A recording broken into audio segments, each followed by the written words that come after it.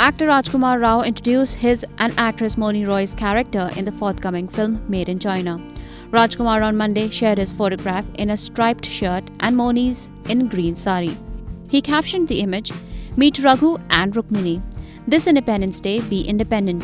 Made in China on August 15, 2019. Mark your calendars.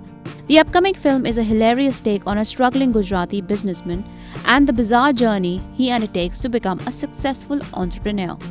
The film also stars Boman Irani and will hit the screens on Independence Day next year. It is being produced by Dinesh Vijan under the banner of Maddock Films.